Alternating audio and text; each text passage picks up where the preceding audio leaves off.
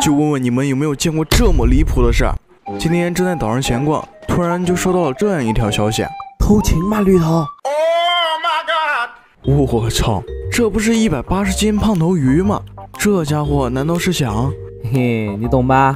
我懂什么啊？我懂，那就是来一场紧张又刺激的巅峰赛。不是哥们儿，你有病啊！想玩刺激的，竟然是带我来打巅峰，不懂这家伙一天天是咋想的？不好好跟自己的蛋搭子小棉玩，也不去找绯闻男友顾梦，却来找我这个帅气又大方的绿头，可能就是单纯的看我实力强，长得帅吧。让我问问这家伙现在是怎么个事儿？你难道不要蛋搭子和你的顾梦了吗？没事儿，这样他们两个又不知道。你这小子就喜欢玩这些刺激的是吧？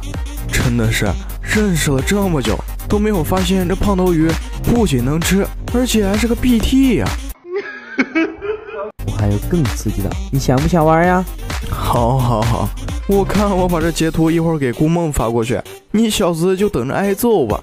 我们先陪着他演下去。什么刺激的？夺冠了我就告诉你。这要求还挺多。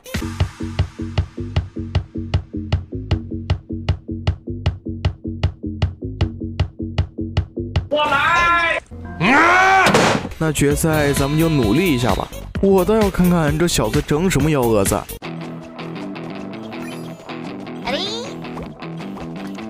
出来单挑！你不要过来啊！溜了溜了溜了。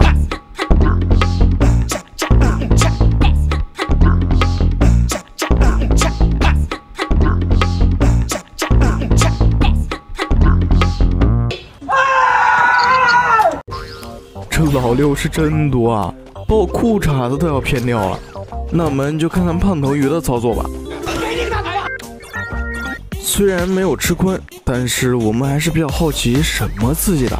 这个，嘿嘿嘿，在我家，你敢不敢来呀？我绿头都没有什么怕的。庄园，这怎么这么多人？绿头哥哥，快来鞭笞我吧！Oh my god！家人们，快跑啊！这小子是真 BT 啊！我是真的受不了一点，让我赶紧躺女仆身上休息会儿。嘿嘿，把这些证据给顾梦发过去。